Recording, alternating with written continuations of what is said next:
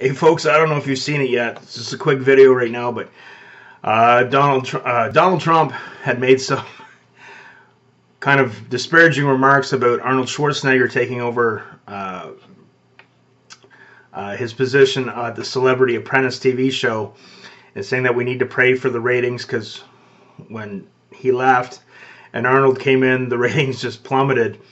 And Arnold came back with his uh, with his retort in his response to Trump. Wow! Let me know what you think of this one. Comment below. Arnold Schwarzenegger to take my place. It's been a total disaster, and I want to just pray for Arnold if we can for those ratings, okay? Hey Donald, I have a great idea. Why don't we switch jobs? You take over TV because you're such an expert in ratings, and I take over your job and then people can finally sleep comfortably again.